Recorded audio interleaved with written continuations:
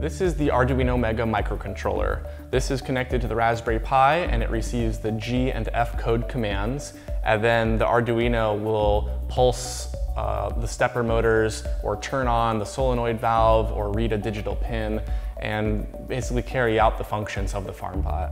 So this Arduino has an extra printed circuit board put on top of it. That's this one here called the RAMPS shield. The RAMPS shield takes a bunch of these inputs and outputs on the Arduino and puts them into a nicer format for connecting all of uh, FarmBot's motors and peripherals. On top of the ramps board are mounted the stepper drivers. There's four of these and so they mount on top of here. And those stepper drivers are what take the, the high power from the power supply and move the motors. The motors are connected into these pins here and then we also have the encoders and that, that connect over here and the peripherals over on these uh, power terminals here. The main power comes into this green terminal here.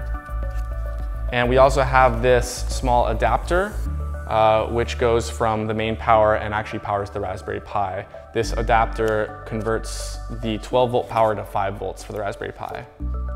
And then we also have this small USB cable to connect the Arduino to the Raspberry Pi.